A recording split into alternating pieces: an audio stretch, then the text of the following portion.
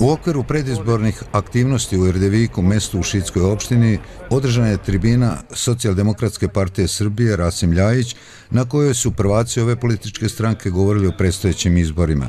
Nebojša Ilić, predsjednik opštinskog odbora SDP-a u Šidu i povjerenik opštinskog odbora Srpske napredne stranke Šid Predrag Vuković, govorili su o očekivanjima izborne liste Aleksandar Vučić, Srbija pobeđuje na lokalnim izborima, dok je Nenada Ivanišević, predsjednik pokrajinskog odbora SDP-a za Vojvodinu, akcenat stavio na predstojeće pokrajinske i republičke izbore. Od predstojići izbore očekujem da apsolutno lista broj 1 koju predvodi Aleksandar Vučić zajedno sa nama i ostalim koalicijskim partnerima odnese apsolutnu pobedu i da se vlada veoma brzo formira, zato što nemamo vremena, ne možemo čekati mesecima da se vlada formira, a podno po formiranju vlade, dakle, nastavljamo tamo gde smo stali, a to je nastavak još boljih reformi da bismo Srbiju učinili ono što želimo da bude, a to je jedna uređena, moderna evropska zemlja.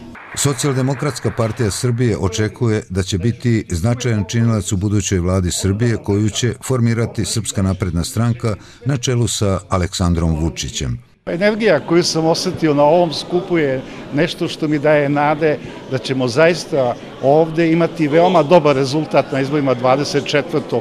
aprila, a to znači pobeda, ali do pobede se ne dolazi tako lako, mora se još puno raditi. Ovde su i naši koalicijani partneri i svi zajedno ćemo učiniti sve da zaista dobijemo najviše glasova, da bismo konačno šid izveli iz ovog nerazvijenosti, da šid ne bude samo nešto što je problematično, što je migracija, već da šid bude i nešto što se zove prireda, nešto što se zove razvoj, nešto što se zove dalje i napred.